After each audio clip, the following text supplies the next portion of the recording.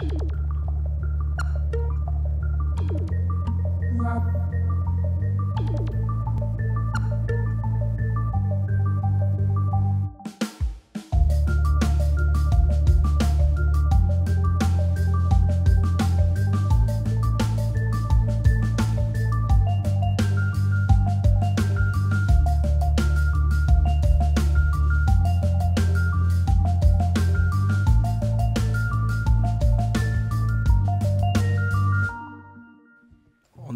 d'être là ce soir. Et cette lecture n'a pas été euh, préparée euh, en amont. On a, on a travaillé ce soir. Et euh, c'est un, un, moment particulier, sachant l'actualité. Vous allez entendre la tonalité du livre. Et je ne peux pas m'empêcher de penser que ce texte résonne peut-être encore particulièrement quand on sait ce qui se passe pour le moment en Ukraine. Donc, en faisant les répétitions tout à l'heure, j'avais ça à l'esprit, même s'il s'agit de la Syrie ici. Donc une partie de ma pensée et de mon cœur ce soir euh, vont euh, à la population syrienne dont il est question dans le livre et à ce qui se passe en Ukraine et penser pour ces, ces personnes qui sont là-bas. We can go.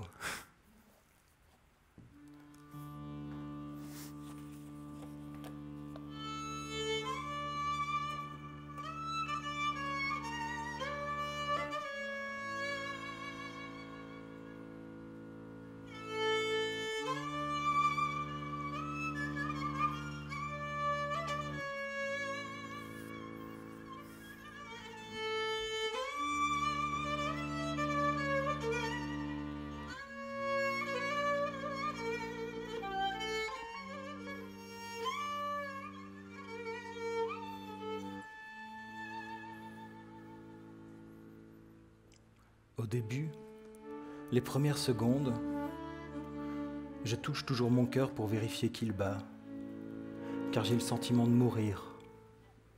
J'ajuste mon masque, me tenant à la proue. Je fais des battements de jambes. Le vent souffle fort. Il parle. Je l'écoute parler. Au loin, les champs de pastèques, le toit de la vieille école et des fleurs de safran. L'eau est froide, malgré le soleil, et le courant chaque jour plus fort. Bientôt tout cela disparaîtra. Crois-tu que les caméras du monde entier se déplaceront pour en rendre compte? Crois-tu que ce sera suffisamment télégénique pour eux, Sarah? Qu'importe. Agrippé à la proue, je vois mon cabanon, une vache qui paie en dessous des arbres, le ciel immense. Loin, de plus en plus loin. J'enfile mon tuba, je fixe ma lampe frontale afin qu'elle ne bouge pas, et je palme lentement pour maintenir mon corps d'aplomb. Je prends ensuite une grande, profonde respiration, et tout ce que je connais mais que je fuis, tout ce que je ne supporte plus mais qui subsiste, tout ce qui nous tombe dessus sans qu'on l'ait jamais demandé, je le quitte. Une sensation exquise, la meilleure. Bientôt, je coule, je disparais, mais je n'ai plus peur car mon cœur s'est habitué, l'eau me porte, pleine de déchets. Je les ignore. Des algues mortes, je les ignore. Je veux rien voir de la nuit. Tout est jaune et vert trouble à ces grandes profondeurs. L'eau, de plus en plus froide, pure. Si j'éteignais ma lampe, il ferait noir, et en dehors des bulles d'air que je relâche parcimonieusement et du plancton tout contre moi, il n'y aurait rien. Je palme encore. À cet endroit de la descente, je pense à toi dans notre lit, immobile sans doute, ou sous le prunier, en train de lire les poètes russes que tu aimes tellement, Mayakovsky, Akhmatova. Ton cœur est un buisson de lumière à chaque fois que tu lis les poètes russes. Et moi, je n'arrive plus à te dire que je t'aime.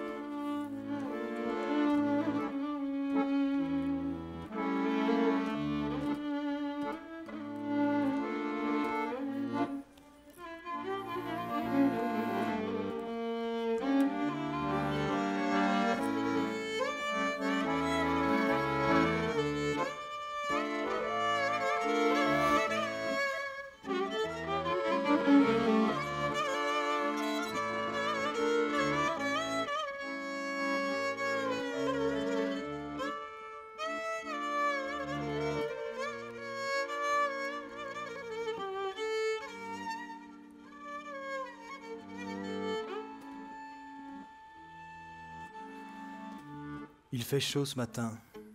Le soleil darde ses rayons et, sur ma peau, la grosse tache de lumière n'arrête pas de grossir. Un grain de beauté, apparu quand je suis tombé amoureux de toi. Et depuis lors, il grossit, grossit et me fait mal. Je mourrai par la peau, je le sais. Alors je mets des sparadraps dessus, de gros sparadraps beige qui se décollent dans l'eau.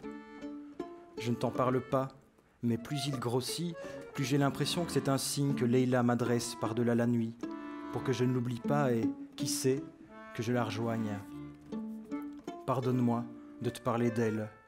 Il n'y a plus d'heure quand je suis au lac. Le temps ne compte plus. Je ne suis plus un vieillard. Je ne suis rien. Rien qu'un corps pour l'eau et le soleil. Comme quand j'écris. Pour écrire, ressentez à quel point vous n'existez pas, à quel point vous êtes trouble. Tout vient de là. Moi, j'ai ressenti parmi les hommes comme une merveille que la terre n'existe pas, ni le ciel au-dessus de lui, que le soleil ne brille pas, ni la lune, et que la puissante mer non plus n'existe pas. Ainsi sont nés mes livres. Regarde-moi, sur ma barque. Je pense à la maison qu'il faudrait que j'ai la force de retrouver. Or je traîne dans la nuit. Je ne bouge pas. Pardonne-moi si j'ai mal le jour où je rentrerai. Pardonne-moi pour mes larmes. Bientôt, tout sera balayé. Et tout ce qui restera, ce sera une vaste étendue d'eau, avec peut-être, embossé dans sa barque comme dans une coquille de noix, un vieux sage qui parlera, mais que plus personne n'entendra. Autour de lui, les bruits de combat auront cessé, ses fils disparus. Ils lui manqueront, oui, sa femme aussi, oui, ses deux femmes. Mais à part ça, rien. Juste la parole d'un vieillard sur sa barque et personne qui l'écoute, qui l'entend. C'est ici, dit le vieux sage, au bord de l'Euphrate, que l'homme est né et a grandi il y a des millénaires, et c'est ici qu'il meurt, dit-il encore, cependant que tout le monde le croit fou. Quand je rame, je n'y pense plus, je ne sens rien. Je revois mon enfance, la barbe verte et drue de mon père, piquante comme dix oursins, maman, qui m'affolait beaucoup, belle à tomber, avec ses nerfs toujours en pelote et en débordement. Ici, sous mes pieds, il montre le plancher de la barque, se trouvait le vieux dattier.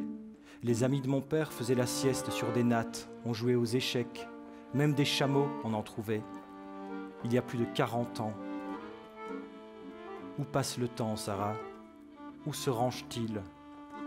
Qu'en fait-on On écoutait les nouvelles du monde sur nos postes de radio, on pleurait nos ancêtres et ensemble on célébrait ce que la vie offrait de bon. C'est ici qu'on a dévoré des kilos de fromage et de gâteaux au miel et bu autant, voire plus, de litres de thé brûlant. Avec le télescope de Mounir, on a même cherché des supernovas. Pauvres, oui, mais nos factures étaient payables. Et cela, on le devait à notre regretté président qui, en dépit du fait qu'il détenait l'ensemble des télécommunications, veillait à ce que nos factures restent dignes, ce qui n'a jamais été le cas de son couillon de fils acquis au capital les gens du Levant, se foutant bien de cette identité syrienne fabriquée par les Français. Voilà ce que nous étions. Ils me regardent, rient. El Machi. Ils disent que je devrais les rejoindre, prendre les armes et prier pour ce qu'il reste de nos terres. S'ils savaient, Sarah, comme mes voeux et les leurs n'ont plus rien de commun. À midi, je dors sous mon journal, protégeant ma tumeur. Et quand j'ouvre les yeux, je vois Leila, ses cheveux, des casards, la lumière des débuts du monde, sa bouche comme les pétales des fleurs que vendait papa, pareil. Vous êtes le professeur de lettres, c'est ça? Elle rit. Vous m'emmenez? Elle m'agrippe par la main. Vous n'avez pas changé, dit-elle. Et hop, elle me fait valdinguer dans l'eau.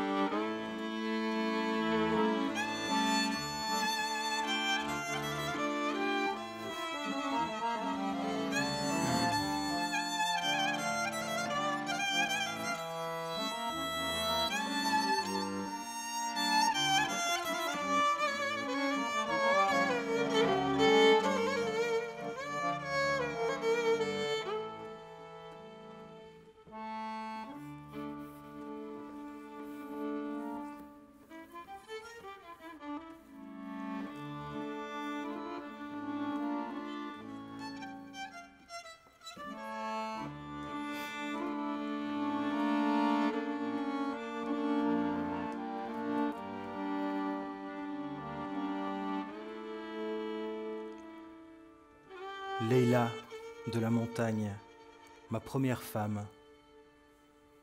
Pardonne-moi de m'en souvenir, Sarah. Qui a dit que la mémoire est rangée par le temps? Pas un vieillard de mon espèce, n'est-ce pas? Comme un lézard entre les pierres, une créature surgit des bas-fonds, le souvenir escalade sur moi, niche en moi, et je suis immergé dedans, pris au piège. Je n'oublie rien. Leila et moi, nous nous sommes connus à l'époque où j'enseignais les lettres à l'école Baïba, à deux pas de la mosquée. Il désigne un point sous la barque. J'avais 23 ans. J'enseignais la grammaire selon les normes prescrites par le régime et lisais des poèmes qui parlaient de la gloire du pays, ainsi que de cette ère riche dans laquelle nous étions entrés, une ère dont l'histoire n'en avait, avait, pas entrevu de semblable tout au long de la vie de la nation. Professeur de lettres.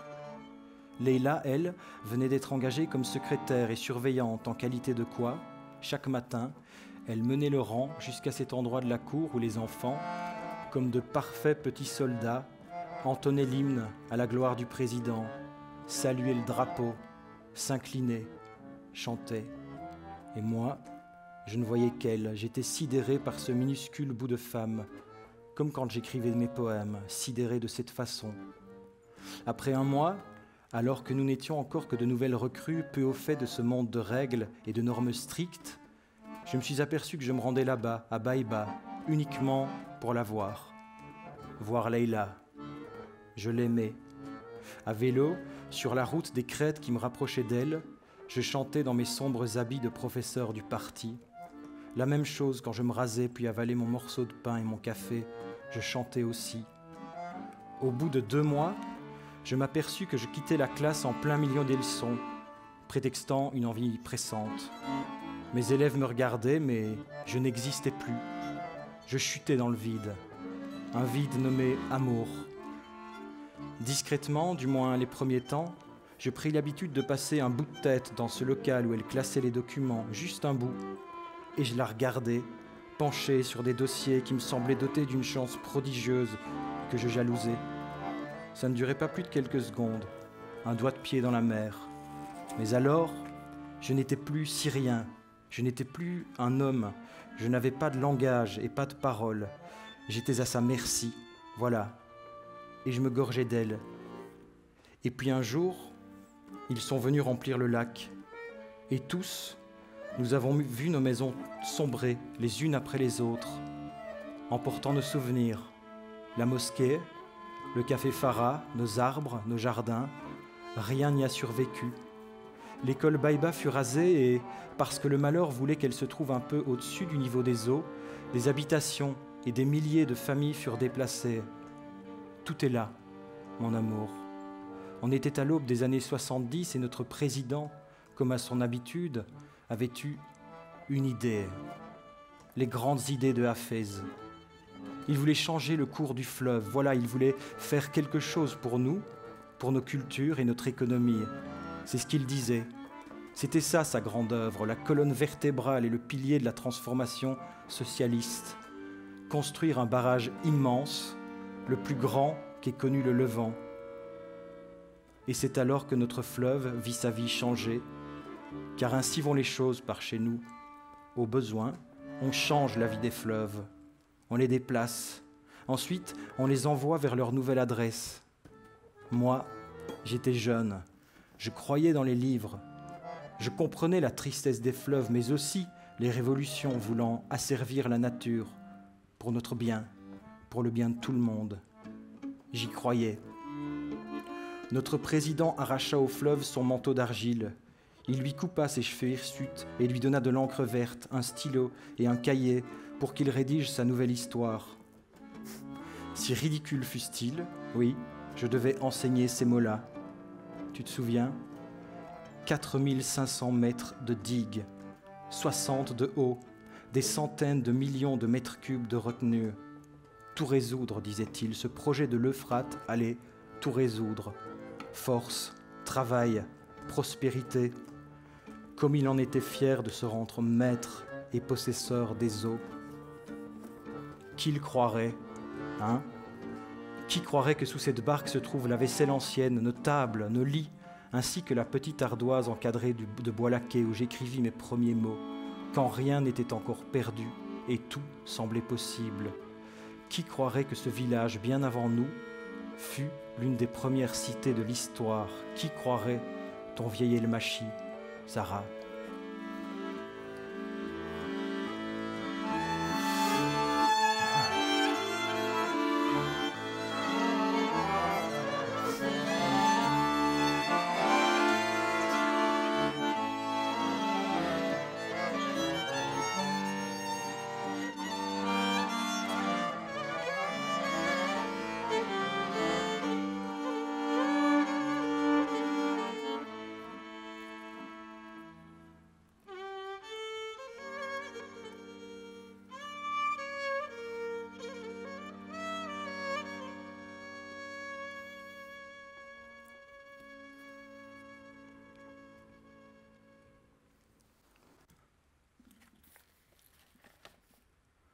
Tout est calme.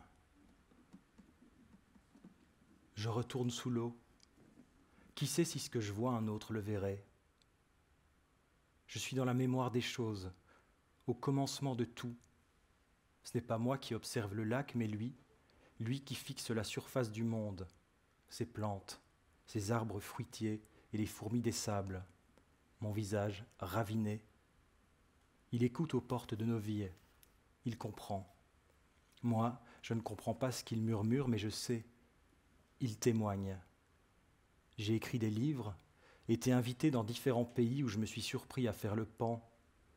J'ai perdu Leila et notre petite fille, et malgré ça, je suis un foutu de décrypter les paroles d'un lac, tristement d'humain. Je sauve un papillon de la noyade, mes doigts dans les algues comme d'autres algues, de fins poissons, puis je ferme les yeux et je descends jusqu'à ce qu'il n'y ait plus aucun bruit sauf celui de l'eau contre mon cœur. L'eau qui me respire et me console comme seul le peut une mère. Nageant, je redeviens l'enfant, marmoute des prairies. J'entends Mounir hurler sur moi qui suit le vent parmi les bêtes de son troupeau et qui les sème sur le sentier.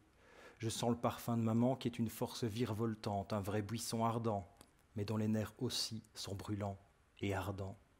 Je cueille une pêche près de papa, debout sur l'échelle, qui cueille des fruits chez notre autre voisin, Kamsié.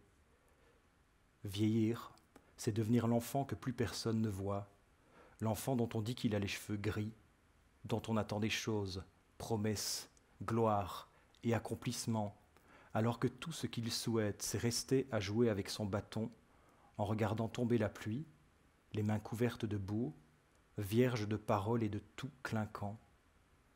Je suis vieux, Sarah de mon cœur, parce que j'ai sept ans tous les jours, depuis sept décennies, mais que plus personne ne le voit.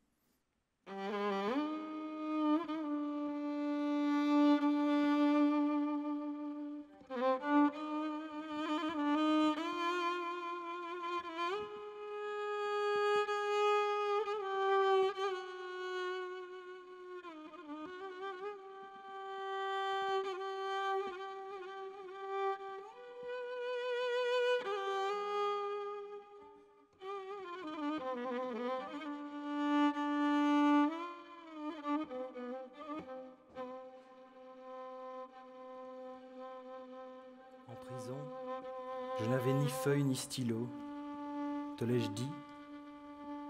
Alors j'ai écrit sur les murs avec mon doigt taché de salive. J'ai écrit sur le sol avec des restes de faïence venus de je ne sais où. Mais ça ne suffisait pas. La salive sèche et la faïence se brise. C'est pourquoi j'ai fait ce que j'ai fait. Tracer des lettres dans ma tête et m'efforcer de les mémoriser. Tous les jours, et toutes les nuits, j'écrivais, j'ai écrit. Cela non plus, je ne t'en ai pas parlé. Des poèmes qui ne laissaient pas de traces, qui ne me seraient pas repris. Des centaines de millions de poèmes écrits dans le huis clos de mes pensées. dans leur souk. Là-bas, un ami détenu disait que la poésie lui servait à emprisonner la prison. C'était juste, même si en ce qui me concerne, je n'y suis jamais parvenu. Mes poèmes ne sont pas des poèmes, ce sont des vers remplis de peur et de rage et de peine.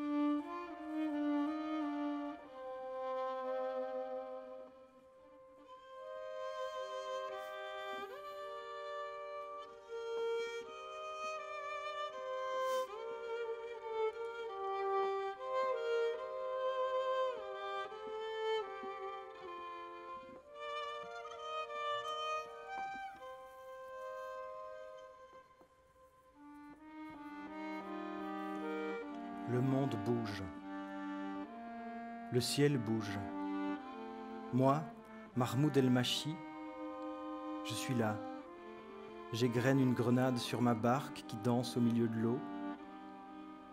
Le cœur serré, je pense à nos enfants. Où sont-ils? Sont-ils ensemble? Quelqu'un tire-t-il sur eux en ce moment? Je parle. Et eux, sur qui tirent-ils s'ils tirent? Quel est le sens du combat? Par où se battre? Pourquoi? Je les revois à cinq ou six ans, curieux petits êtres courant partout et déjà pleins de jugeotes. Salim connaissait les capitales de tout l'Orient avant même d'entrer à l'école, comme s'il était venu au monde lettré.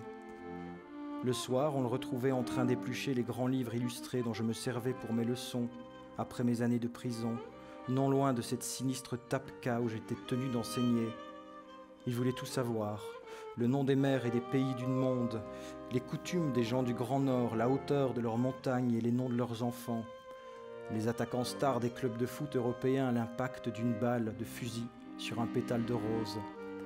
Je le revois pleurer au, détour d'une de ses lectures de l'encyclopédie, le jour où il apprit que le cri du homard était de la douleur, le cri de l'ébouillantage. Il en fit des cauchemars trois semaines durant. Précoce, il marchait à 11 mois et utilisait des quatre des formules dignes de vieux grammairiens. Brahim, lui, ne tenait pas en place. Il cassait et déplaçait tout. En constante expansion, il courait, traversait la route en sprintant, crapahutait dans les rochers, chutait et se relevait. Avec leur petite sœur, dont le caractère mixait les deux, c'est ici que l'on s'asseyait. Il montre une grosse pierre à quelques mètres des eaux. C'est ici commençaient toujours mes histoires.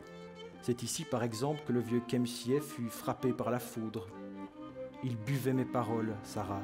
Tu aurais vu leur tête. C'est ici, avant que son Excellence, notre président, décide d'y faire cette chose. Leurs yeux s'écarquillaient, Sarah. Je leur indiquais la direction du barrage, que le monde a poussé son premier cri. Oyez, entonnai-je en prenant une voix soudain outrageusement grave. C'est ici, dans le bassin de l'Euphrate, que nous avons cessé d'être des prédateurs qui chassent et qui cueillent, pour devenir des prédateurs qui cultivent et construisent des villes. La ville de Mormoric, disait Salim, celle d'Abatoum, ajoutait Nazifé, le royaume de Toutoul, disais-je à mon tour, tandis que Brahim balançait des pierres sur la mer de nuages. Je faisais de grands gestes. Même Yamhad, ajoutai-je, dont l'influence s'étendait jusqu'ici. Il se marrait, Conduis-nous au barrage, papa, s'il te plaît. Le barrage. Il ne jurait que par ça. De belles années. Et maintenant, je termine ma grenade en fixant l'eau et le ciel. J'aperçois des poissons, toutes sortes d'amphibies, et de la mousse qui, elle aussi, est encore la vie. Un sac en plastique, pieuvre blanche au ventre luisant. Je hisse la barque sur le rivage, la range sous l'auvent, puis m'installe dans le cabanon pour inspecter ma tâche. Elle est de plus en plus grosse et me fait mal. Je devrais la montrer au médecin, Si j'avais encore quelque espoir, oui, c'est ce que je ferais. Prendre la voiture, descendre jusqu'à la ville et la montrer au docteur Waikiki, comme l'appelaient les enfants. Il est trop tard. Je suis de l'autre côté, dans le monde du souvenir. Tout est là. Et tout est parti. Qui a dit que vieillir, c'est oublier? J'ai rejoint la mémoire des choses. Si seulement il savait. Au loin, mon père, âgé de 30 ans, il court et me hurle dessus pour que j'arrose les fleurs, au lieu de les piétiner et les semer dans le vent. Dans le verger, je cueille une pêche pour toi, debout sur une échelle. Qu'est-ce que tu fiches sur une échelle, Sarah? Tes fesses rondes comme deux pains aux noix de tante Anaïta. Tu chantes un vieil air de Verdi. Le ciel est clair. T'ai-je dit que mes cheveux ont blanchi? Tout est clair, bel amour. L'oubli est une seconde mémoire. T'ai-je déjà dit ces choses? Que dirais-tu que l'on se retrouve? Que dirais-tu que je m'assois sous le prunier? Je divague, pardon, mais je n'invente rien. Le visage de nos enfants, les jeux et les joies de Nazifé à la belle chevelure, tout est parti et tout est là. C'est une chose curieuse. Je peux les voir sauver la grenouille rousse dans la mare, m'entendre hurler sur eux quand ils n'obéissent pas, et me revoir ici, en train de terminer ce poème où je dis que la vie, c'est être toujours mouillé. Tout est là, toi aussi, mais ton corps est dans la maison avec tes livres russes et tes occupations, ta lassitude de moi, peut-être, sous l'arbre où je te retrouverai bientôt. Est-ce cela, vieillir? Mieux voir hier qu'aujourd'hui Mieux voir jadis que maintenant Chercher à oublier mais voir tout revenir Le passé est une bombe il explose. Eux, c'est ça qu'ils nomment oubli, qu'ils nomment vieillir. Ils bruinent. Tandis que moi, je sens des tas de choses bouger, m'appeler et venir à moi. Elles bougent. Et en même temps, de toutes petites particules mordorées et à peine perceptibles dansent aussi, mais au-delà, au-delà de ces eaux noires où le passé ressurgit, au-delà de la mémoire, elles dansent, dans un lieu où je ne peux ni les atteindre ni les toucher, et pourtant, quand je pense les avoir perdues et qu'elles me filent entre les doigts, elles reviennent, tourbillonnant derrière mes souvenirs, derrière la mémoire. Je les sens, toute une galaxie de particules insaisissables composées de millions et de millions de moments, lieux, odeurs, douleurs, visages, mots et silences qui ont rempli ma vie. Tu dérailles, elle machie, tu débloques. Je m'avance vers le lac, mon tuba à la main T'ai-je dit que la vallée a. T'ai-je parlé du village, du jardin, les astères et les roses, l'échelle en bois? Tout a péri. J'ignore depuis combien de temps. Tu débloques, vieille Anne, tu devrais reprendre le chemin de chez toi et embrasser ce qui compte, car les heures dont tu parles n'existent plus. Oui, mais c'est une sensation physique. Je ne peux pas quitter cette barque. Les images remontent comme une mer et ton imbécile de mari est immergé dedans.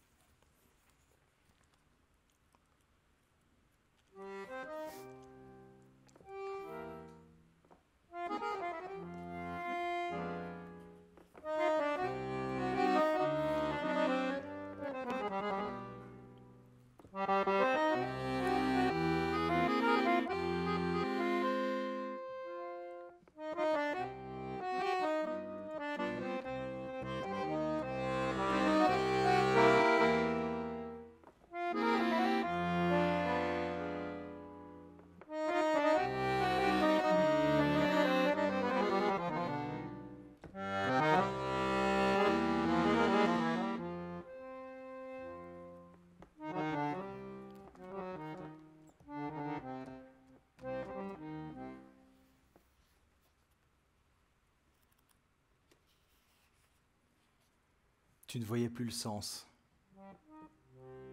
Tu avais des rêves agités. Tu avais peur de t'endormir et sangloter parfois dans mes bras. Puis cela t'est passé. Tout passe. On oublie et on recommence. Mahmoud. Un matin, tu m'as dit que tu allais te remettre à enseigner.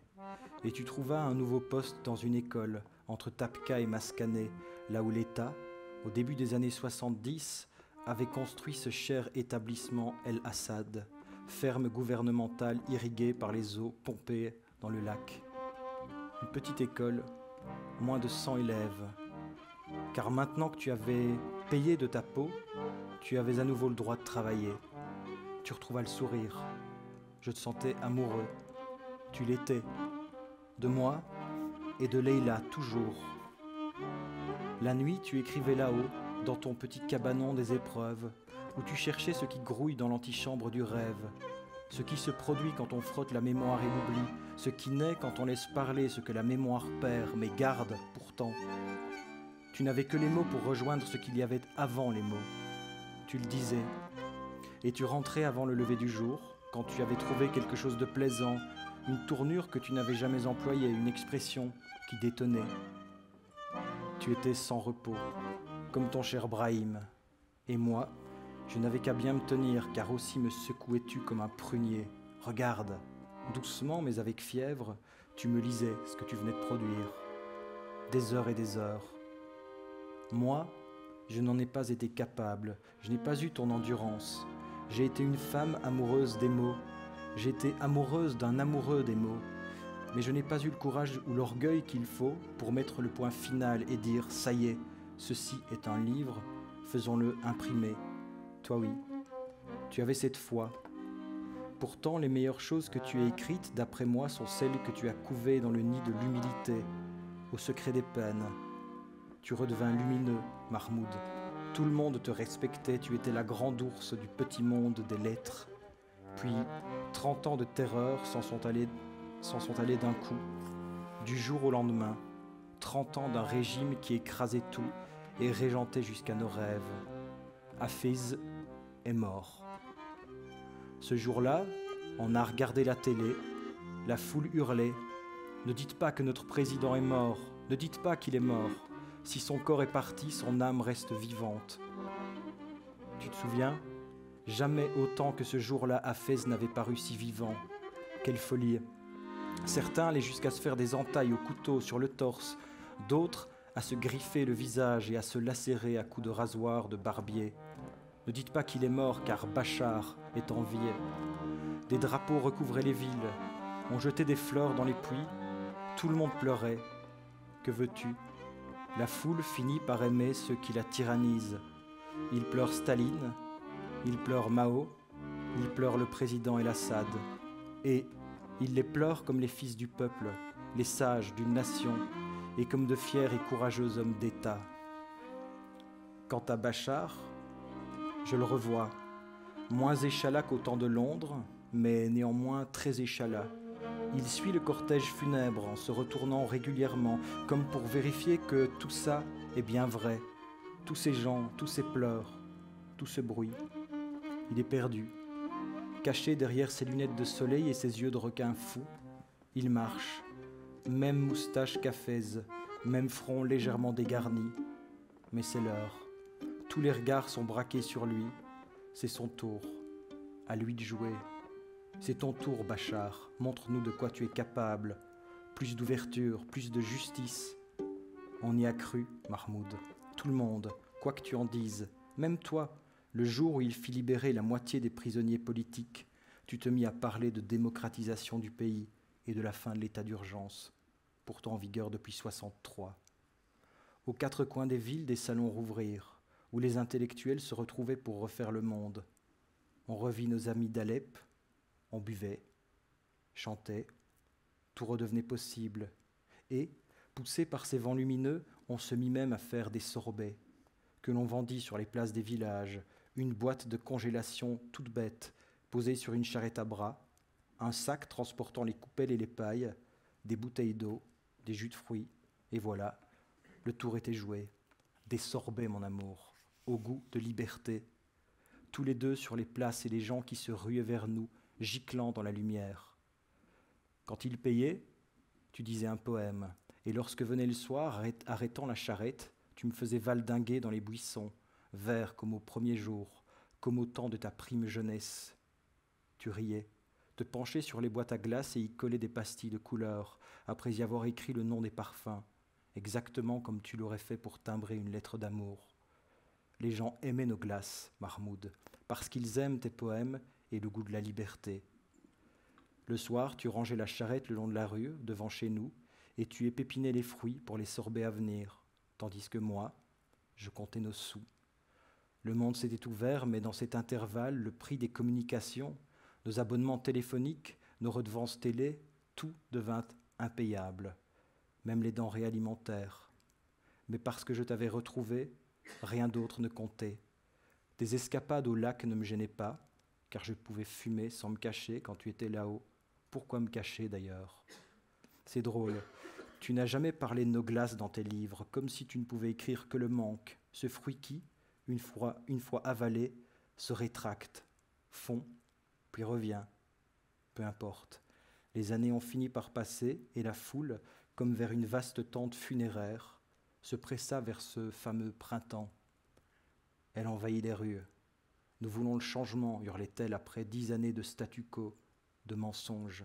Nous voulons la révolution. Mahmoud, la liberté que tu avais cherchée toute ta vie, c'est elle que la jeunesse voulait, celle qui se trouvait à la pointe de ton stylo, celle qu'il y a au-delà des mers.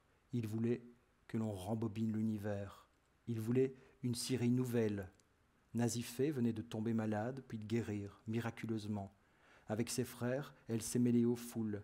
Dégage, Bachar, prends le parti basse avec toi et prends la porte, il y a la liberté qui y frappe. Voilà ce qu'il chantait. Mais tu n'y croyais pas, tu en tremblais, tandis que lui, l'ancien étudiant en ophtalmologie, le jeune homme timide de Hyde Park qui ne voulait pas entendre parler de politique, lui, il arracha les cordes vocales des petits coqs chanteurs, puis leur trancha la gorge et les expédia dans le fleuve Oronte. Tout le pays fut pris de secousse, comme une toile d'araignée qui, touchée ici, tremble partout à la fois. Les gens se sont mis à fuir, offrant leurs lits et leurs maisons aux tirs de mortier. Et notre Syrie, nos arbres marmoudes, les lieux où nous nous sommes aimés, notre terre, tout a sombré, du jour au lendemain. Ils sont entrés dans les maisons, égorgeant les âmes, les hommes devant leurs enfants, insérant des rats dans les vagins des et forçant des frères à violer leurs sœurs. Les survivants hurlaient, disant que l'armée voulait nous rendre fous et faire gonfler les rangs des rebelles, cela afin de pouvoir nous trucider ensuite allègrement au mépris du droit et des conventions internationales. Mon amour, tu étais parti chercher de l'eau. Pardon. Ils avaient fermé l'alimentation en eau potable. Tu n'écrivais pas. Tu n'étais pas au lac. Pardon. Tu étais de ce côté du jour avec moi, parti chercher de l'eau avec une petite casserole et ton cruchon. À ton retour, ils avaient défoncé la porte si bien que tu as fait un pas en avant, balayé la pièce du regard à toute vitesse. Et lorsque tu as vu ma robe laminée, les pages déchirées de mes poètes russes, tu t'es mis à genoux, tu es tombé. Plus tard, tu as levé les yeux et tu m'as rejointe, dans mon poing, chiffonné, la page d'un poème d'Akhmatova. Elle s'y trouve encore. Tu l'y as laissé, mon ange. Cela, ils n'ont pu nous le prendre, ils n'ont pu le violer. C'est lorsqu'une espérance expire qu'une chanson de plus s'élève. Tu es resté près de moi toute la nuit, dans ce champ de ruines, des heures à sangloter, à invectiver le ciel. Le matin, Arman, le voisin, t'a aidé à creuser le trou sous le prunier. Puis tu as passé ton alliance autour d'une chaîne, tu as placé la chaîne autour de mon cou, et tu as remis de la terre par-dessus le tout. Tu m'as dit au revoir, Mahmoud, comme un paysage qu'on survole, auquel on dit adieu, et tu n'es plus revenu, tu n'as plus revu la maison, et moi, j'ai attendu chaque nuit, j'ai attendu ta voix et tes histoires de lune, d'eau et de vent.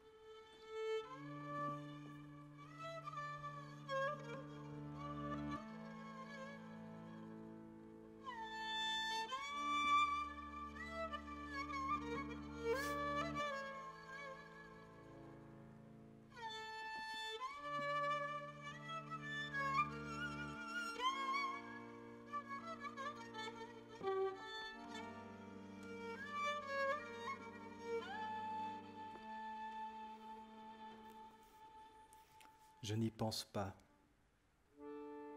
C'est mieux. Je ne touche pas mon cœur. J'ignore ces mois passés ici.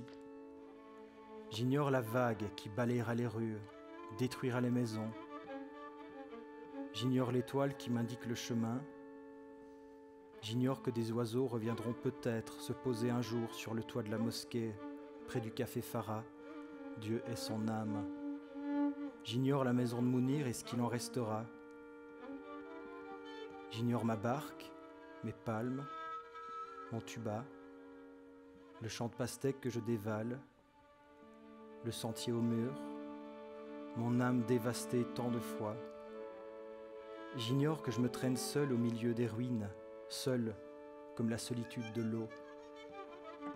J'ignore qu'il ne reste plus la moindre pastèque dans le champ. J'ignore qu'il n'y a plus de champ. C'est mieux. J'ignore que je ne suis plus revenu chez nous. Il ouvre la porte de la maison, mais il n'y a plus de porte et plus de maison depuis qu'ils t'ont fait ce qu'ils t'ont fait, Sarah. J'ignore que tu reposes sous ce prunier et que c'est à lui que je m'apprête à dire Le ciel n'était pas bleu, mon ange, nos jours furent bleus.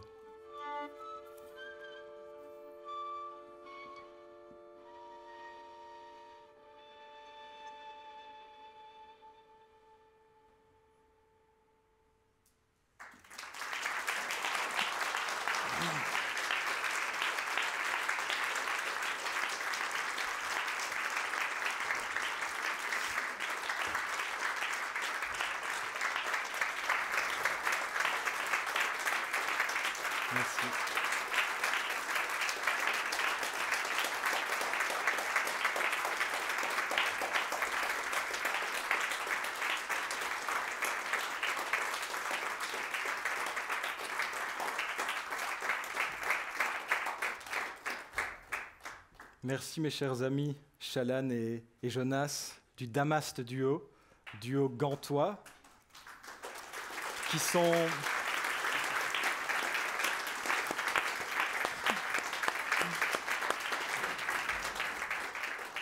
qui sont doublement méritants puisque puisqu'ils viennent de Gand, non ça n'a rien à voir, puisqu'ils sont là ce soir, mais surtout qu'on a, qu'on a euh, dû euh, travailler et, imaginer cette lecture en, assez peu de temps. Et donc je vous remercie infiniment parce que c'était émouvant pour moi de retrouver le texte avec ses, sonorités. Et donc ça m'a, ça m'a, c'était comme un cadeau pour moi. Donc merci à vous deux, vraiment. Bonsoir Antoine Waters. Bonsoir. Donc, euh, vous êtes né à Liège en 1981 et en 2008, à 27 ans, je crois, vous publiez vos deux premiers livres, dont Debout sur la langue, aux éditions Maelstrom à Bruxelles, dans lequel vous écrivez La parole que je cherche est en chacun de nous, mais terrer, trancher, affiler, semer, perdre et reprendre. C'était chinois hein, à l'époque. Ouais.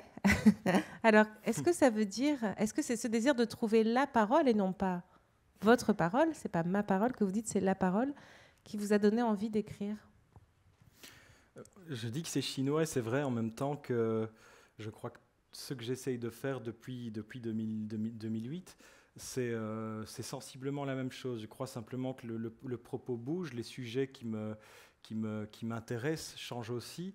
J'essaie de le faire d'une façon peut-être euh, différente. Je ne sais pas si c'est plus abordable, ce n'est pas un mot qui m'intéresse beaucoup, mais en revanche, ce qui m'intéresse, c'est euh, quand, vous parlez de, cette recherche d'une parole qui serait, en nous et qu'il faudrait essayer de récupérer.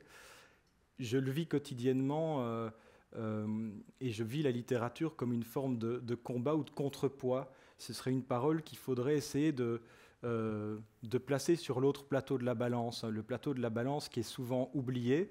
Et ce plateau de la balance, c'est un endroit où justement on peut placer sur les choses qui nous occupent, qui nous font souffrir, qui nous font du tort, sur les injustices qu'on voit fleurir partout dans le monde, essayer de trouver, ou sur nos maladies, euh, des, des, mots qui sont justes, mais qui sont justes parce qu'ils viennent vraiment de nous.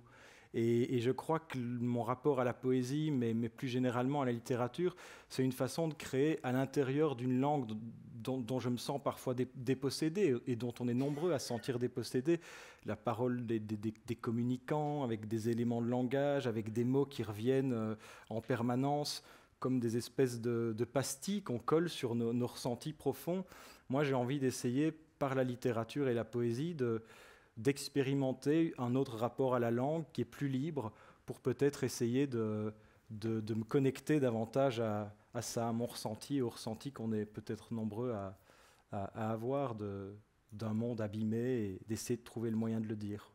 Alors justement, ce monde abîmé est au cœur d'un roman qui est paru en France, euh, Nos mères, c'était aux éditions Verdier en 2014. C'est l'histoire de Jean Charbel, un enfant qui vit la violence de la guerre au Proche-Orient. Qu'est-ce qui vous lie personnellement à cette région du monde qui revient dans Marmoud ou la montée des eaux? Est-ce que vous l'avez étudié Est-ce que ça a commencé par la littérature, par une rencontre? Ça a commencé par des lectures, mais je crois qu'avant les lectures, donc j'ai lu énormément de poètes de, ces régions, ça m'intéressait beaucoup. Mais je crois que ça vient de, plus loin encore, de l'enfance.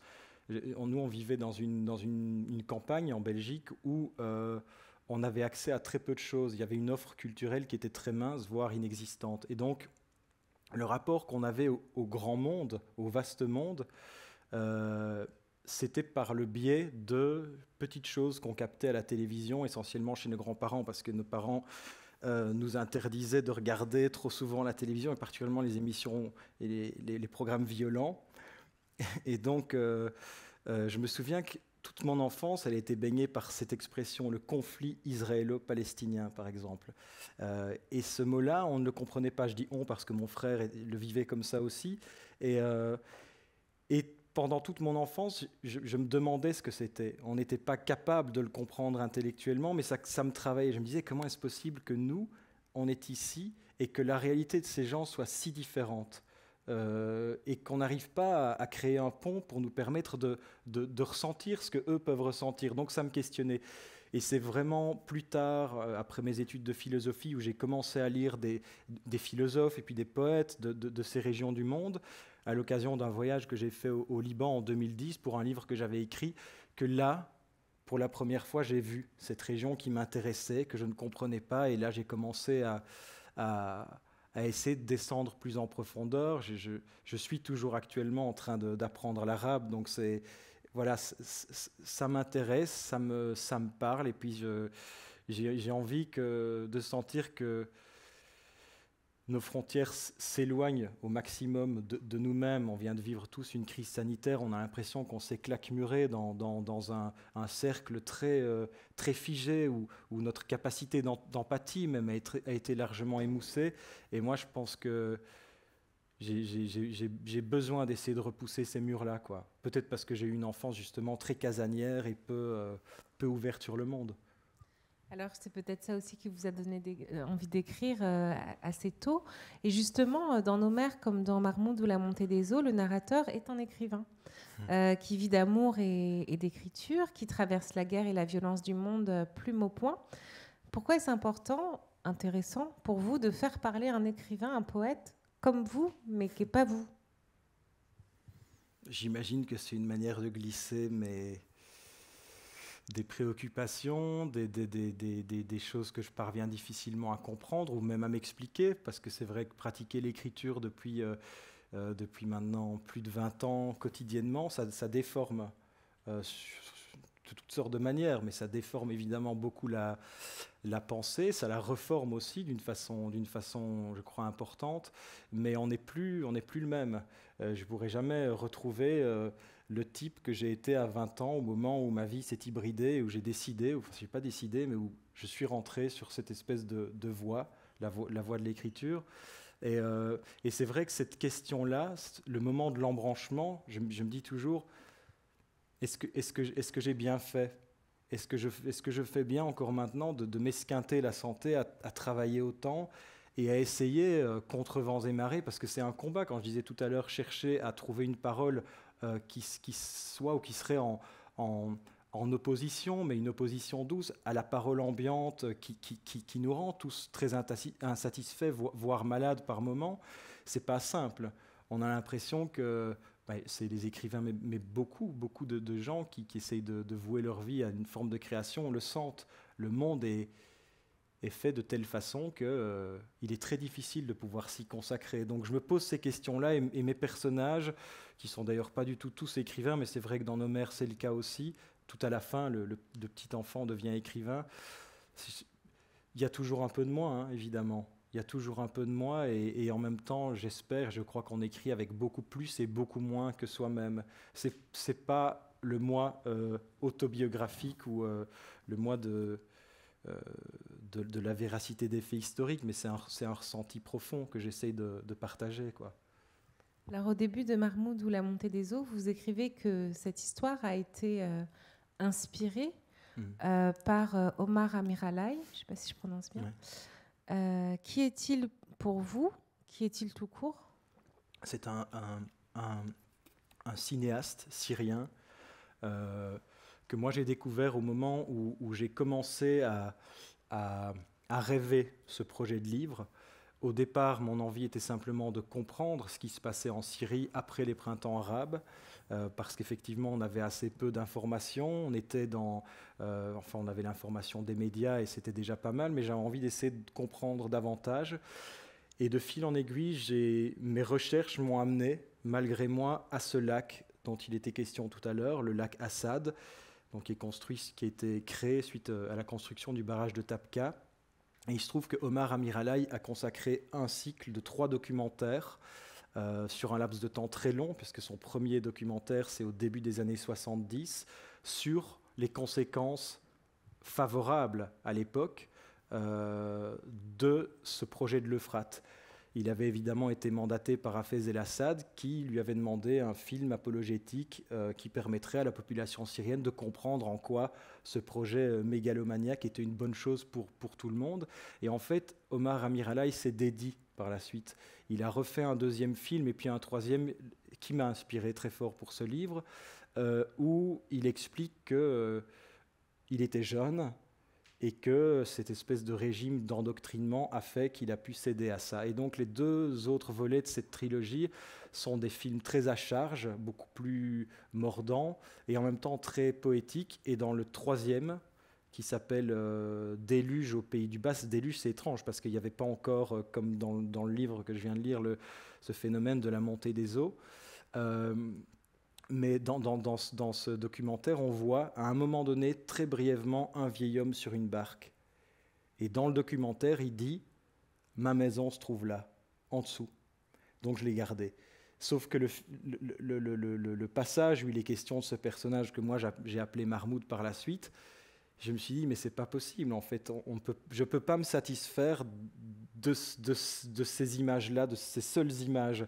Et donc, j'ai laissé dormir, les, les, j'ai éteint la, télévision et puis j'ai vécu quelques jours comme ça en me disant, mais il, faut essayer peut-être d'utiliser toutes tes notes, tout ce que tu as lu. Et, et, et, ce ressenti qui est très simple quoi, sur, sur ce qui se passe là-bas, et peut-être essayer d'imaginer l'histoire de, de, ce, de ce vieil homme. Alors vous parlez d'imaginer, mais on sent quand même euh, que cette prose brève, limpide qu'on a pu entendre repose sur un important travail de documentation. Mhm.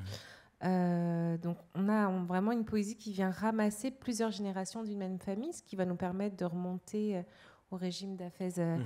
al-Assad, le père de, Bachar al-Assad, puis la révolution jusqu'à la révolution syrienne en 2011, et donc en passant par l'arrivée de Bachar al-Assad au mhm. pouvoir que vous décriviez en, ophtalmologue qu'il était. Il était ophtalmologue, ouais. c'est une chose qu'on sait peu. Et d'ailleurs, j'ai pas choisi cet extrait-là tout à l'heure, j'aurais pu, mais ça c'est aussi une chose qui moi m'a fasciné, c'est que Bachar al-Assad ne se destinait pas du tout à une carrière, est-ce qu'on peut l'appeler de politicien, j'en sais rien, mais de dictateur en tout cas. Euh, il avait euh, quitté le pays, la Syrie, il s'était installé à Londres où il était admis comme étudiant euh, en ophtalmologie et et ce qui est étonnant, c'est qu'on peut trouver encore des témoignages du, médecin qui était responsable de son stage euh, là-bas à Londres.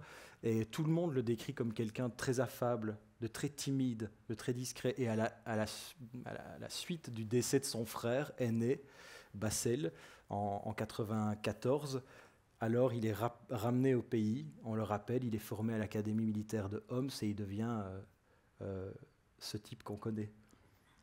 Alors justement, comment vous vous êtes euh, documenté sur toutes ces choses? Comment vous avez récolté cette matière? Est-ce que ça a pris beaucoup de temps par rapport au Mhm. temps ensuite passé à écrire?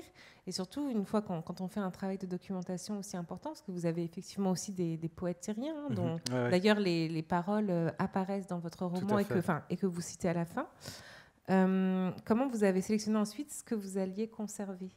Est-ce que euh, En fait, ça s'est fait de, façon différente. J'ai peut-être passé deux ans à lire et à essayer de comprendre un peu ce qui se passait là-bas, en sachant, quand je dis un petit peu, c'est parce que euh, les sources sont, sont pas faciles à trouver. Quand on, essaie par exemple de comprendre ce qui s'est vraiment passé dans certaines villes euh, que Bachar a euh, euh, comment euh, euh, rasé, ravagé, euh, c'est difficile de trouver vraiment les documents parce que euh, le parti basse a essayé en permanence de, de, de- brouiller les pistes et de faire en sorte qu'on ne puisse pas leur reprocher grand-chose. Donc ça, c'était déjà difficile, mais en fait, ça a été, je dirais, 80% de travail de documentation, sans envie aucune d'ailleurs à l'époque d'écrire un livre. Je, le faisais, je me levais tous les matins et je lisais des choses que je trouvais. Ça pouvait être de la littérature, de la poésie, mais c'était surtout effectivement euh, des, documents euh, politiques. Et puis, euh, et puis le jour où je suis tombé sur ce documentaire de Omar Amir, je me suis dit, mais là, en fait, en fait, tout ce que tu viens d'apprendre, dans, dans quoi tu viens de t'immerger, ça pourrait possiblement devenir un texte littéraire. Et là, ce qui est très étrange, c'est que je l'ai écrit très vite. En quelques semaines, il était prêt. Puis je l'ai laissé dormir trois ans, euh, parce que j'avais pas forcément envie de le publier. Et pourquoi? Parce que j'étais comme Mahmoud. J'avais l'impression qu'il était peut-être plus important de se taire que de, de parler, et que c'était une période où je ressentais un grand besoin de silence, quoi, un besoin de qui, faisait suite aussi à la promotion de mes, deux livres précédents, et un besoin de me retrouver, de, de, vivre différemment. Et, donc le livre, je l'ai écrit sans aucune euh, envie, en fait, à l'époque, d'en- faire un, un- bouquin. Et c'est il y a un an, un peu plus d'un an maintenant, euh, en le relisant, j'étais parti euh, pendant ces confinements, je m'étais échappé quelques jours à la mer en Belgique, et je l'ai relu à ma compagne qui m'a dit euh, Antoine, t'es con, fais-le. Tu devrais, le, tu, devrais essayer de le, tu devrais essayer de le, quand même de le donner à lire un minimum. Et en fait, euh, ayant passé deux années dans le silence, toujours un peu comme, dans ces eaux du lac quoi, de, de, de Marmoud, dans une, dans une vie qui était beaucoup plus calme euh, pour moi à ce, à ce moment-là. Je me suis dit, d'accord, je vais, je vais le, le publier. Mais en gros, voilà comment, comment ça s'est fait. Comment vous intégrez le lecteur justement à ce travail? Alors je dis ça parce qu'il y a un glossaire donc euh, en fin Ouais. d'ouvrage, parce que vous avez fait le choix de citer euh, à la fois des épisodes historiques euh, assez méconnus. hein. Je Mhm. pense au massacre de Hama en, en 1982. Ouais. Vous utilisez aussi des expressions en, en arabe sur la cuisine, Mhm. et puis aussi des, des expressions qui font référence à des choses que je pense seuls les Syriens se, se souviennent, comme les coqs chanteurs, qui font en fait Ouais. référence aux, aux- aux jeunes gens qui ont été, euh, on leur a arraché les, Les cordes, cordes vocales, voilà. Euh, comment vous, pourquoi vous avez eu envie de faire ce glossaire, de ne pas intégrer justement les choses dans le texte? Est-ce que c'est parce que pour vous on peut pas tout expliquer? Je, pense que le texte aurait pu se tenir sans glossaire, mais, euh, mais je sais aussi qu'avant d'écrire ce livre, je ne connaissais pas ces choses-là. Et dans un texte comme celui-là que je voulais le plus pur possible, je voulais pas que ce soit un dispositif, je voulais séduire personne en fait avec ce texte. J'avais envie de l'écrire tel que je pensais devoir l'écrire. Euh, et, donc, je me suis dit que si je devais ajouter par exemple des notes de bas de page, c'était pas facile. Je l'ai fait dans un livre précédent, mais là, je trouvais que ça allait alourdir les choses. Mais, mais c'est vrai qu'en pensant aussi au lecteur, je me suis, je me suis dit, mais hum, on ne connaît pas tout ça très bien. Et donc, euh, j'avais pas envie que ce soit un texte explicatif. En revanche, j'avais envie qu'il soit très précis sur, le, sur les, faits historiques. Et, euh, et je- moi, je présume toujours que les gens qui, qui ont envie de lire et qui lisent et qui cherchent à découvrir des choses sont, sont curieux et donc peuvent, euh, c'est un pacte, suivre l'auteur et la voix du, personnage dans, dans- dans le livre. Et puis, euh, s'ils ont envie d'en savoir un petit peu plus, il y a ces pages-là qui permettent d'éclairer les choses. Mais voilà, c'est parce que je pense que l'histoire, finalement, l'histoire de la Syrie, on la connaît très mal. alors qu'en fait on est quand même un peu beaucoup lié à cette histoire, puisque c'était un pays qui était sous mandat français avant l'indépendance en 1946, par exemple. Donc, donc voilà, est-ce qu'il devait être là? J'en sais rien. Moi, j'avais envie qu'il soit là. Je, trouvais que c'était, je trouvais que c'était juste pour, pour expliquer des petites choses comme celle-là, les, les coqs chanteurs, euh, et ne pas, ne pas devoir le, le dire vraiment dans, dans le texte lui-même. Est-ce que vous avez fait des entretiens pour euh, nourrir ce, texte? Je vous pose la question parce qu'il y a des didascalies, enfin mhm, des sortes de mhm, didascalies mhm. dans, dans, dans ces poèmes. Et, d'ailleurs, on ne sait jamais vraiment euh, qui parle. D'un seul coup, c'est tu. Alors, euh, c'est Sarah, c'est Marmoud. c'est peut-être vous, du coup. D'un seul coup, quand il y a les didascalies, on ne sait plus trop. Oui, c'est vrai qu'il y a comme des indications théâtrales. J'aimais bien cette histoire de ce geste quoi d'un vieil homme qui raconte tout depuis une barque ou depuis d'ailleurs le, les eaux, le dessous des eaux. J'aimais bien ce, ce, principe simple. Et puis l'alternance des voix aussi. Ouais, à la fin, j'ai lu euh, l'avant-dernier texte, c'était donc la, voix de Sarah, qui est là comme une, euh, une entité un peu spectrale, mais qui, mais qui, raconte, euh, qui raconte ce qu'elle voit et qui raconte cette distance qu'il peut y avoir entre un, entre un vivant et un mort. quoi.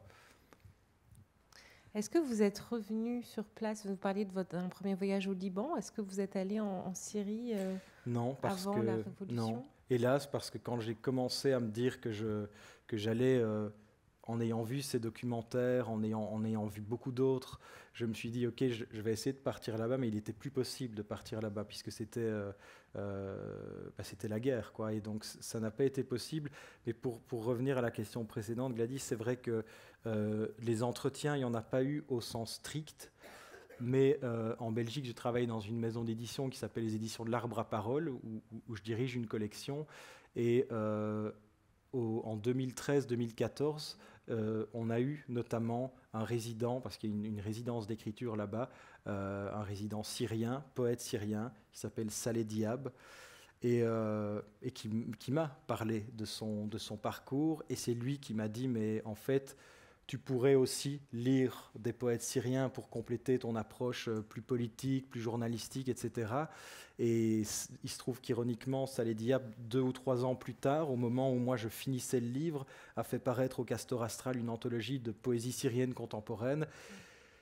Et en fait, en lisant ça, je pense que c'est là que j'ai commencé à me dire que j'allais intégrer des bribes de poèmes dans, dans, le, dans le corps du texte, et puis que je me suis dit que j'allais le laisser dormir parce que j'ai trouvé important de, de laisser descendre tout ça en, moi, de, de, de, bien, de bien l'assimiler, et puis parce que c'était très fort en fait de lire la voix de personnes qui, pour certaines, pas toutes, hein, ont, ont, connu, comme Mahmoud, euh, la Syrie sous toutes ses formes.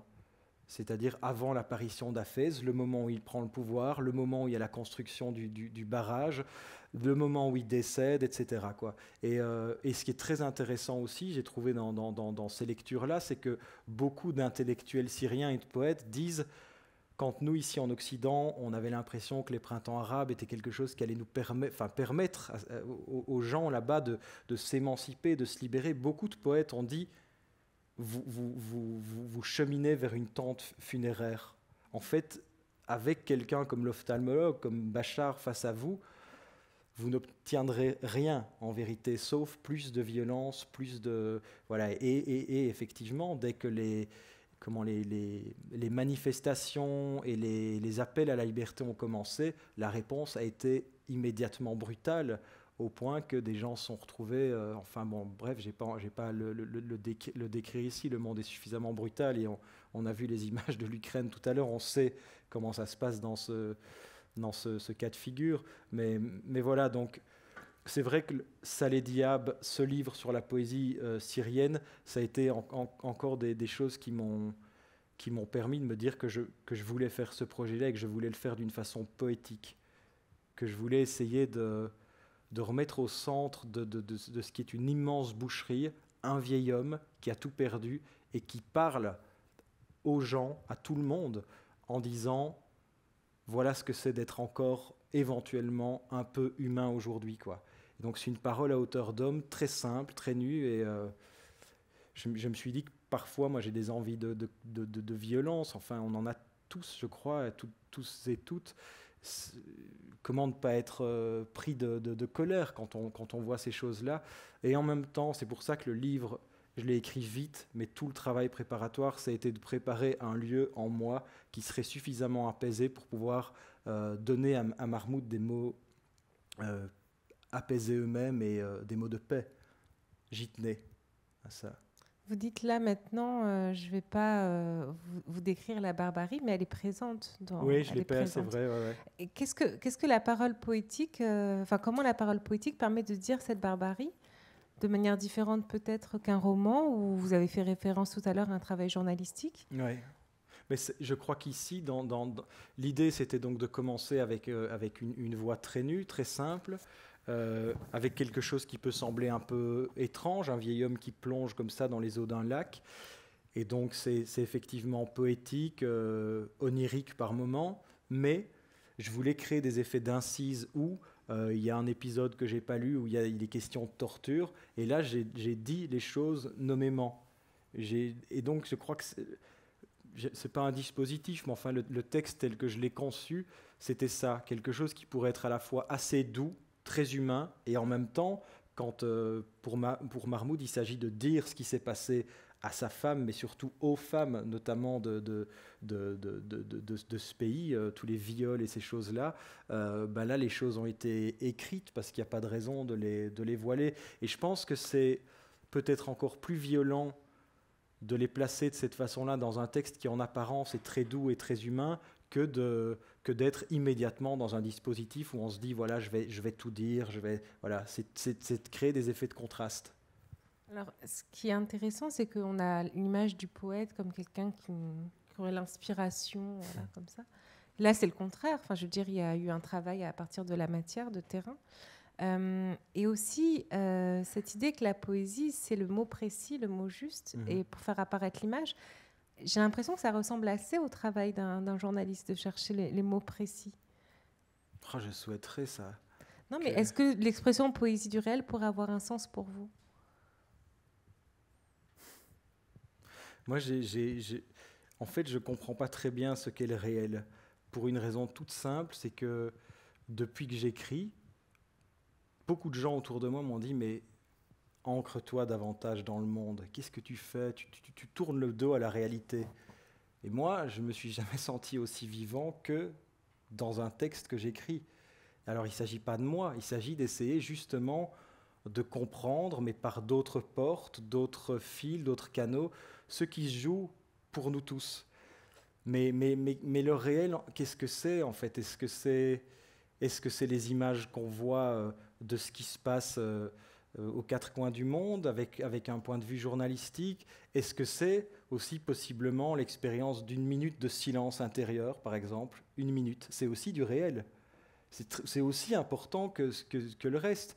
Donc moi, je, je, je dis ça, j'ai un problème avec, avec cette l'idée qu'il y aurait une opposition entre la littérature et, le réel, entre la poésie et le réel, entre les poètes qui seraient des illuminés, des rêveurs, alors qu'en fait, non, je pense que c'est une approche de la vie qui est peut-être assez large en fait, qui n'empêche pas d'aller faire ses courses quand il faut les faire, de s'occuper des enfants, d'être là pour les gens, mais en même temps de dire le réel ne s'arrête pas aux choses visibles en fait.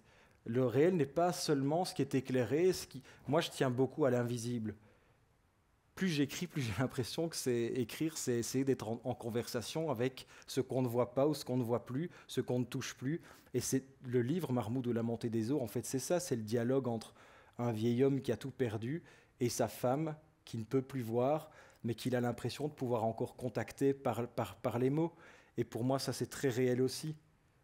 Mais Sarah a disparu des, des faisceaux et des, et des lumières, on ne la voit plus. Vous voyez, c'est pour ça que Ouais. Une poésie du réel, oui, pourquoi pas Je sais pas. Alors Marmoud dit justement euh, qu'écrire nous lie à ce qu'on ne voit pas. Mhm. En fait, vous avez dit, euh, vous avez parlé comme Marmoud. on peut euh, parler comme ça. Mais ce qui m'intéresse, c'est que chemin faisant, il y a cette histoire de la Syrie, et puis il y a parallèlement une réflexion sur l'écriture qui se mhm. fait avec Marmoud et dans, et dans ce texte. L'écriture a un temps d'avance sur la vie. Marmoud à la fin qui est un petit peu désespéré, qui dit l'écriture n'aide pas, elle ne ressuscite rien, elle n'aide pas. Et donc, pourquoi écrire? Et là, l'écriture nous lie à ce qu'on ne voit pas. Donc, euh, écrire pour voir. Écrire pour voir, écrire parce que c'est, je crois, une, façon fabuleuse, en fait, de, d'approcher toutes ces zones du réel. Je continue de maintenir que c'est le réel, que, qu'on n'a pas l'habitude d'explorer dans la, dans la vie de tous les jours. Un mort, par exemple, euh, quelqu'un qui a disparu, qu'on a aimé, qui n'est plus là. Est-ce que l'écriture n'est pas un moyen d'aller, vers tout ça? Et aussi, ce, que, ce, que, ce qu'il y a dans le livre beaucoup, c'est silencieux. C'est un texte qui est très silencieux en vérité. Et quand je disais tout à l'heure que j'avais plus tellement envie de publier une période de ma vie, c'est aussi parce qu'il y, a une grande contradiction, un paradoxe quand on est quelqu'un qui, passe beaucoup de temps à écrire, c'est que je crois profondément qu'on écrit autant pour dire, exprimer des choses et raconter le monde que pour se taire. Ça paraît problématique comme euh, assertion. Et en même temps, je crois que je crois que c'est profondément vrai. Je crois que un écrivain a, besoin, mais comme un lecteur, qu'est-ce qu'on va chercher dans un livre? Fondamentalement, c'est peut-être plus le silence dont les mots sont porteurs ou qu'il y a dans le fond des mots que euh, seulement une histoire. Ça peut être les deux, c'est pas incompatible. Et moi, je crois beaucoup euh, en ça, en ce, cette espèce de lieu silencieux qui précéderait presque le langage. Il se trouve que euh, on n'a on a que les mots pour toucher ça. Donc c'est très étrange, mais moi, je trouve ça très beau de jouer avec les mots pour peut-être approcher un peu plus le, le silence dont on a, je crois, grandement besoin parfois. Alors on approche de la fin de la rencontre. Est-ce que dans le public, il y a des questions? Alors, je vous vois absolument pas. Donc, euh, Ah, ah Non? Alors, euh, bah, je voulais savoir euh, si vous aviez prévu de réécrire de nouveau sur le Proche-Orient et si ça partirait encore d'un travail de documentation? Pour le moment, j'ai pas le, j'ai pas encore non, je crois pas. Pour le moment, je veux d'abord finir mon apprentissage de la langue arabe et, aller encore plus loin. Et en fait, ça, ça, me, remplit de joie d'apprendre. Et, puis ensuite, peut-être que, que j'y reviendrai, mais là, non, je vais, je vais le, le, prochain texte que je, vais, que je vais écrire, ce sera un texte très belge, pour le coup. Euh, il faut varier les plaisirs. Et là, ce sera euh, vraiment sur un, un petit village. Euh, voilà. Je vois. voilà, donc ce sera très différent.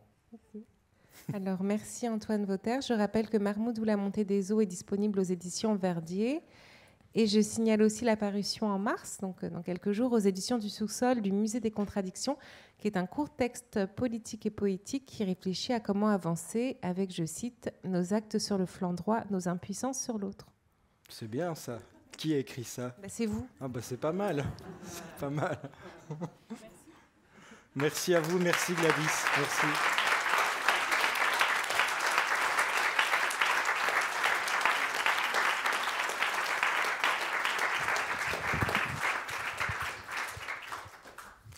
Merci d'être venu et je euh, remercie le Festival Effraction pour cette invitation, cette possibilité d'avoir lu le livre.